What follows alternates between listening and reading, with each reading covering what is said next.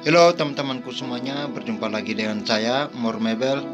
Nah, pada video kali ini saya cuma sekedar membagikan trik atau cara yang baik pada saat memberikan profil pada kerangka pintu minimalis yaitu pintu satu daun dengan mata profil bunga susun.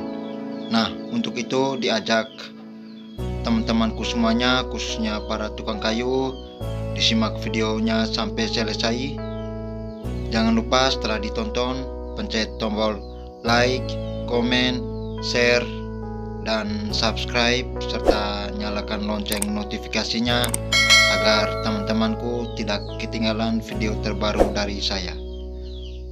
Oke, kita langsung saja ke videonya.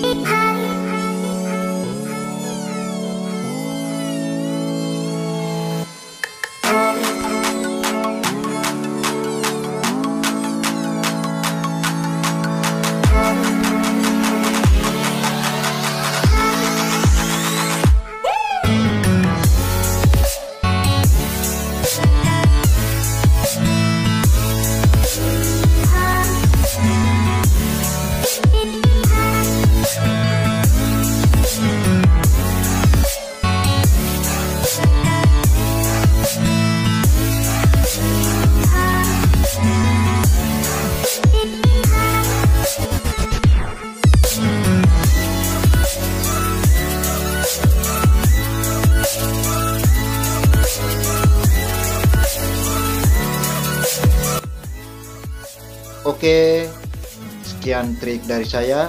Semoga trik ini bisa bermanfaat untuk kita semua, khususnya bagi para teman-temanku, yaitu teman tukang kayu. Diajak sekali lagi, setelah ditonton, jangan lupa pencet tombol like, komen, share, dan subscribe. Terima kasih banyak buat teman-teman yang sudah menonton video ini dan sudah bergabung di channel ini.